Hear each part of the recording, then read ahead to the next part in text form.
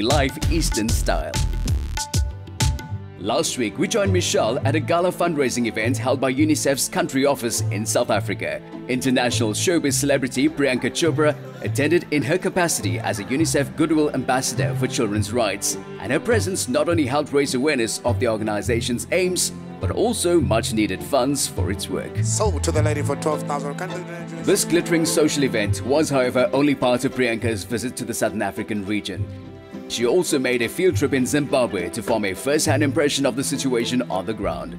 Although her time was limited, she made a particular effort to meet the children who are most dependent on UNICEF for help and to understand their needs and challenges.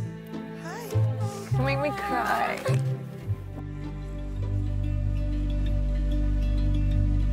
Before leaving South Africa, she attended a media event held by UNICEF in Rosebank. UNICEF Goodwill Ambassador and acclaimed actress Priyanka Chopra is in South Africa to highlight the challenges faced by children affected by violence. Named as one of the most influential people in the world, her visit will most certainly draw attention to this worthy cause. Priyanka was welcomed by the resident UNICEF representative in South Africa, who sketched the background to her visit.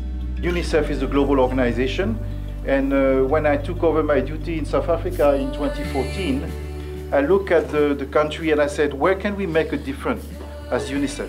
And after consulting South Africans, it became very clear that there is one area where we can make a difference, and that's on the issue of violence. I've been working with UNICEF now for about 14 years in India, and last year as their national ambassador for 10 years, and then um, as the Global Goodwill Ambassador now for a year. And uh, Africa has been my first trip outside of India that I have gone to field on.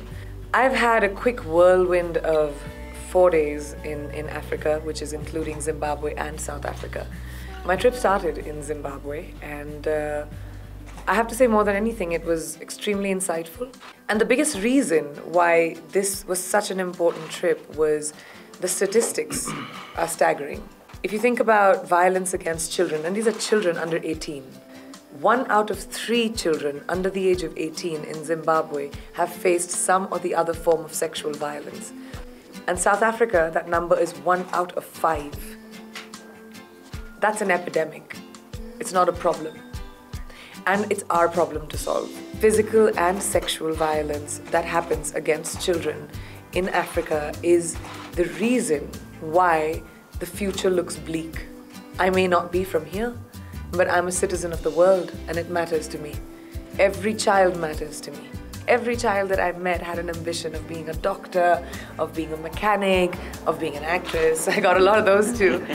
It's just so wonderful to see these child and youth care workers who dedicate their lives and commit themselves to making South Africa and the future of South Africa and Zimbabwe a better place. We're very privileged, all of us.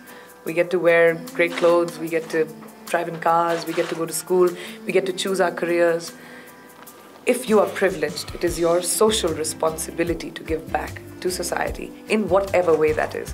It doesn't necessarily have to be money, but also your time, your compassion, your opening your hearts and actually seeing these children not as statistics but as real people. We are the means to an end.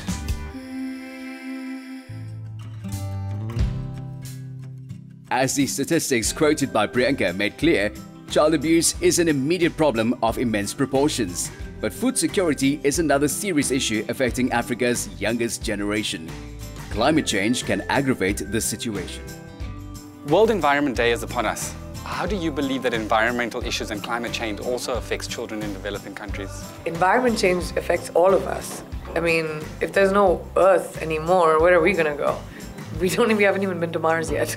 but I'm yeah. saying, um, environment, the environment and, and, and global warming and issues that affect the earth affect every single one of us. And I wouldn't single out just kids because I think that the earth is our home and we are not looking after it at all because again we're desensitized to it because our lives are comfortable and we're okay and a lot of people don't believe that there is a crisis of global warming in the world and we have to fight that. And it's all about consciousness. Little things that can make a difference. Um, when you're brushing don't keep the tap on. Have shorter showers. Um, when we drink mineral water out of those bottles don't take a sip and waste it. Don't waste the food. Switch off the lights when you step out. It's those little things that each one of us individually can make a difference, and that itself will count.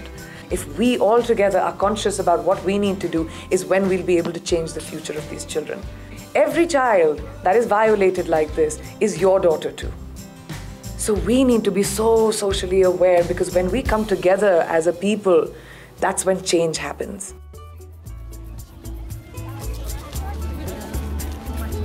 Priyanka also visited Soweto, spending time at the Safe Parks project. Here she had an opportunity to meet children and hear their stories, and showed that she wasn't too important to join them at play. Afterwards, she shared out stick-on bindis before wrapping up her visit with singing and some impromptu moves.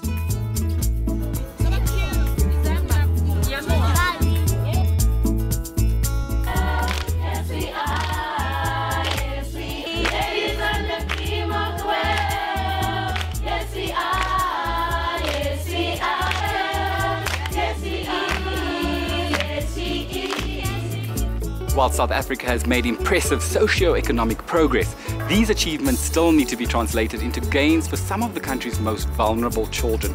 We can all play a role in achieving that goal.